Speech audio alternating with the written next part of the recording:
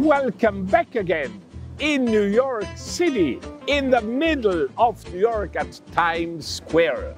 The name comes from the New York Times, but we also have our daily newspaper in Romansh, La Quotidiana, the daily newspaper, La Quotidiana. And what do we read? Il Romansh va a New York. Romansh goes to New York. To New York, to the Big Apple. Il Grand Mile.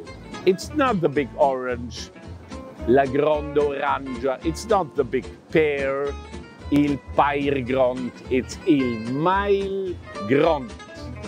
And we are here at Times Square at the heart of New York, al core de New York, il core.